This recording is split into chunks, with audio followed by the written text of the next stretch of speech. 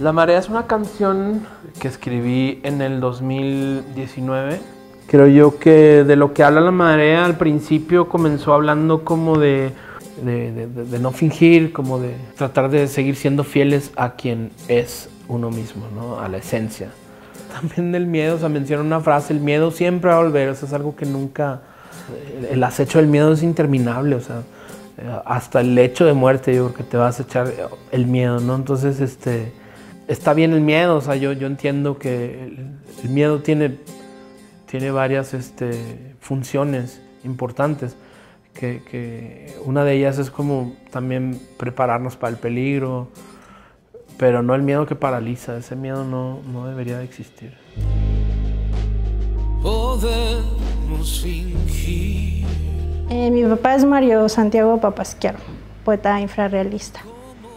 Y hace dos años se hizo un homenaje como en aniversario de los 20 años de su muerte y los 10 años de que salió la antología Jeta de Santo. En donde Nadja le tocó a ella hacer los visuales.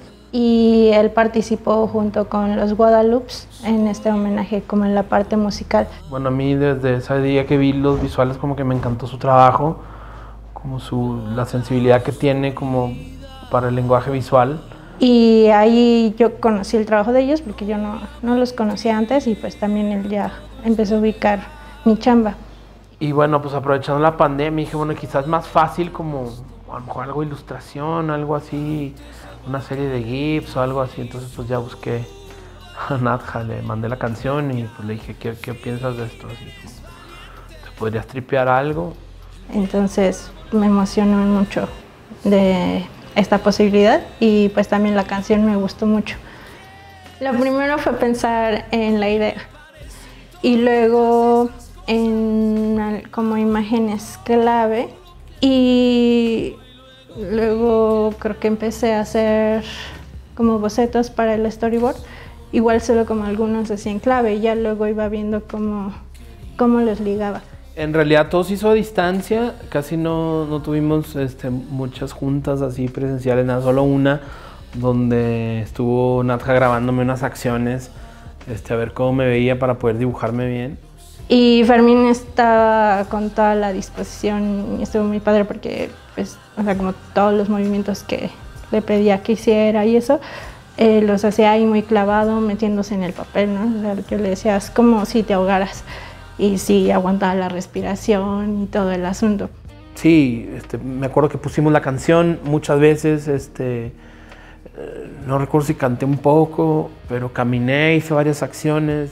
Y eso también siento que me ayudó mucho ya al final con los dibujos porque yo ya tenía ahí la referencia como de la actuación y todo eso. Y ya era pues más fácil hacer esta traducción a- al dibujo. Pues yo entendía que todo eso era en virtud del dibujo, ¿no? De, de- de- de- de poder como captar mi, mi, mi esencia o mi- mis formas al menos, ¿no?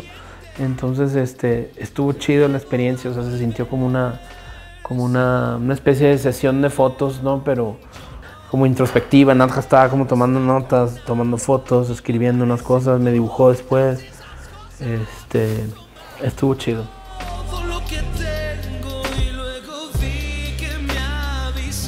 Y tenía que delimitar también cómo eran estas distintas realidades. Como lo que sucedía en un principio se supone que sí es como algo más tangible y real y ya luego es un viaje interno, ¿no? Y cómo podía yo separar estos dos mundos y qué función también tenía el agua. O sea, el agua yo lo pensé mucho como, como otro personaje y también cambia. O sea, es, el agua es de una textura y de unos colores al inicio y ya cuando nos adentramos en Fermín y mm, sus sentimientos cambia y es, tiene mucha textura que las hice fotografiando la cáscara de una pitaya. Eso, o sea, fue, o sea, como que yo ya estaba pensando mucho en el videoclip y un amigo me regaló la fruta y cuando corté la fruta vi la textura y me gustó ver las líneas y los distintos matices que tenía aunque no tenía nada que ver con el agua y es roja. Pero como yo estaba ya pensando tanto en el videoclip, yo creo por eso hice esta relación. Y ya luego digitalmente lo, cambié los colores y eso.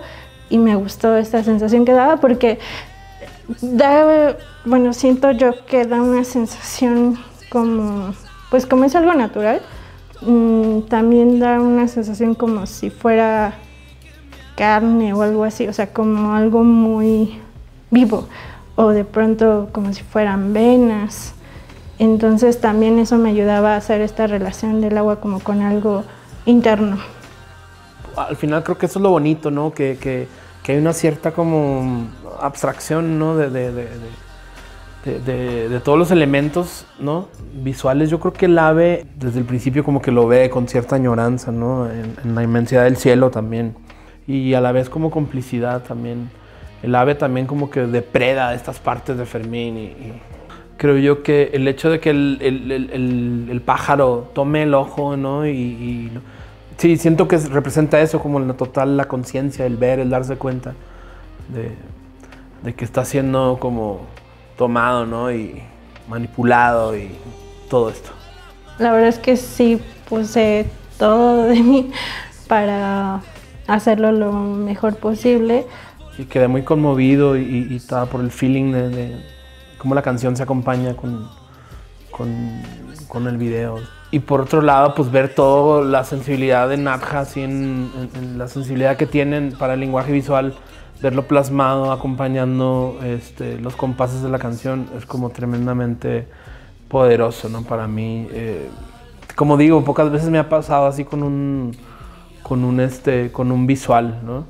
O sea, que esté tan, tan, que sea tan parte de una canción, ¿no? Y, y eso pasó esta vez, me, me- me da mucho gusto por vivir eso, ¿no?